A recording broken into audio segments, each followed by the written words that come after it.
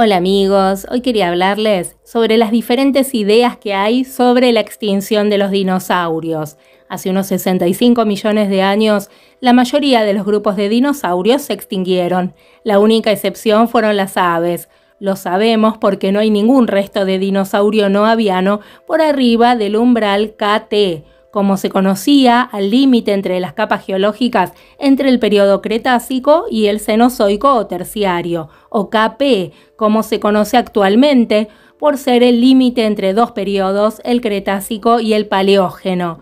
El momento de la extinción se encuentra identificado por una fina capa de iridio y seguido por un pico de helechos, una capa donde las esporas de estas plantas son muy abundantes. Como desencadenante de la extinción en masa del Cretácico se ha indicado el impacto de un meteorito y también el vulcanismo.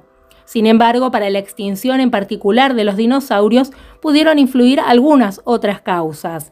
Algunos propusieron que el dominio de los dinosaurios se encontraría en retroceso para el momento de la extinción. Sin embargo, un grupo de ellos, las aves, son todavía los tetrápodos con el mayor número de especies. Varios tetrápodos marinos mostraban evidencias de declive, como los mosasaurios y los plesiosaurios. Los ictiosaurios, en cambio, se debilitaron como grupo y se extinguieron decenas de millones de años antes del final del Cretácico. Se propuso también que la competencia con otros grupos de vertebrados dificultó la vida de los dinosaurios. Sin embargo, es difícil saber cuáles serían estos, ya que los mamíferos siempre acompañaron a los dinosaurios y las aves son un grupo de dinosaurios y no podrían haberlos afectado demasiado. Algunos piensan que lo que los afectó podría haber sido la diversificación de las plantas con flor o la diversificación de los insectos. Quienes estudian los fósiles conservados en ámbar han probado la existencia de varias enfermedades que eran propagadas por insectos de aquella época, sin embargo, los dinosaurios coexistieron con estos insectos durante toda su historia y con las angiospermas durante no menos de 70 millones de años, tiempo de sobra para que se les pasara la alergia. Además, es muy posible que algunos grupos de dinosaurios fueran agentes fundamentales en la distribución de las plantas con flores, junto con los vientos húmedos procedentes de la apertura del Océano Atlántico.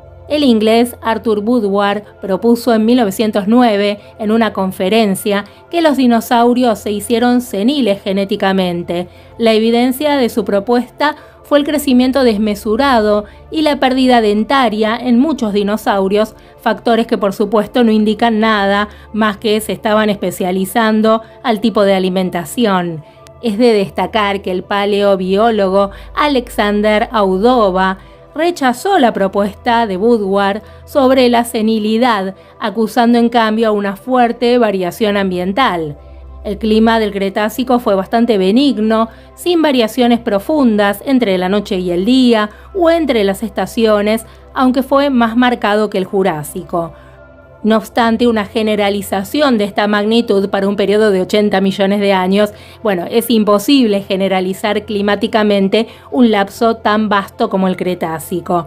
Al final de este periodo, sin embargo, se produjeron cambios climáticos importantes, pero de corta duración, ya que el periodo siguiente, el Paleoceno, fue también muy cálido. ¿Pudo este cambio climático debilitar a los dinosaurios? Si los dinosaurios eran de sangre caliente, tal vez eran menos resistentes al frío que otros reptiles actuales como tortugas y cocodrilos, que sobrevivieron a la extinción en masa. Sin embargo, en realidad había linajes de dinosaurios que vivían dentro del círculo polar antártico en regiones donde caían heladas durante el invierno. En el año 1911, el paleontólogo y espía húngaro Baron Nopsa propuso que la rápida extinción de los dinosaurios fue causada por un incremento en la función de la hipófisis, cuyo mal funcionamiento causa en los humanos gigantismo por exceso de crecimiento del cartílago y una baja actividad sexual. Otras propuestas en los años 20 incluyeron la del enfriamiento climático, la del descenso del nivel del mar, la de que los mamíferos se comían los huevos y el vulcanismo, lo cierto es que el final del Cretácico fue un momento de recambio para muchos grupos de animales y plantas. Algunos apuntan a una dispersión de virus y de agentes patógenos al contactarse continentes que se encontraban hasta ese momento aislados, como Norte y Sudamérica o África y Europa. De hecho, en la materia fecal de los dinosaurios se encontraron patógenos de parásitos intestinales. ¿Pudieron los dinosaurios no tolerar los nuevos parásitos? Difícil, porque la coexistencia entre los parásitos y los hospedadores es un mecanismo complejo que conlleva millones de años. Además, esto por supuesto no puede explicar una simultánea extinción de los plesiosaurios y mosasaurios, que eran lagartos marinos, de amonites, que eran moluscos cefalópodos, de venetitales, que eran plantas parientes de las cicas, el estudio de las extinciones a lo largo de la historia de la vida ha permitido reconocer que en muchos casos el evento de extinción no ocurre ligado a una catástrofe, aunque ésta haya existido, sino algún tiempo después. Por esto fue llamada por David Jablonski la extinción del día después, sus causas se atribuyen principalmente a que los sobrevivientes de una catástrofe natural como puede ser el vulcanismo, la caída de un asteroide o una era glaciar corresponden a grupos escasos responsables del ulterior poblamiento de la región. Por esto el ADN que portan consiste mayormente en una repetición del ADN de los demás y sus capacidades para resistir a las enfermedades son entonces similares. ¿Cómo se llega a esta falta de diversidad genética?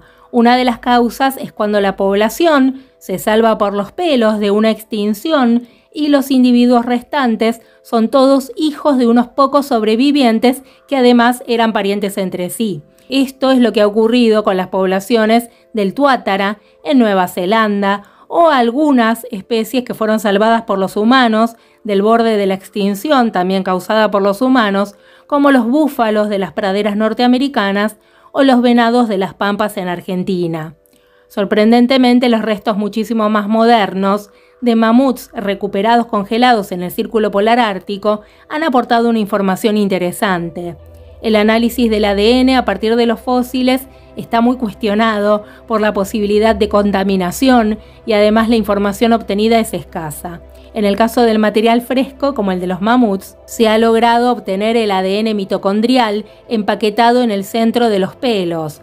La queratina que forma el pelo es un efectivo retardante para el ataque de las bacterias al momento de morir el animal. De esta manera se ha logrado estudiar cerca de 10 especímenes en el rango de 50 a 10.000 años de antigüedad.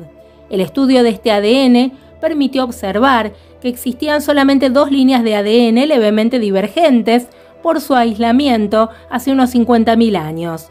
Una de estas líneas se extinguió hace 40.000 años y la otra perduró hasta hace unos 10.000 años.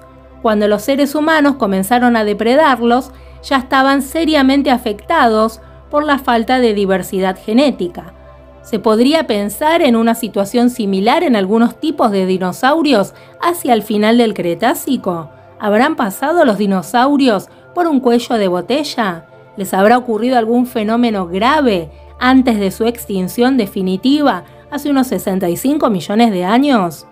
En 1980, un grupo de científicos propuso que el impacto de un asteroide había sido el causante de la extinción en el límite KP en ese momento la teoría quedó rodeada de escepticismo porque implicaba un retorno al catastrofismo casi bíblico que había sido dejado atrás con el gradualismo geológico de Hatton y Liel, que impregnara el nacimiento del gradualismo biológico de Darwin. Diez años después se encuentra el cráter en Yucatán y la teoría toma solidez y se afianza en un verdadero conocimiento. Bueno amigos, si les gustó la información que les traje hoy, los espero nuevamente otro día. Un fuerte abrazo para todos ustedes.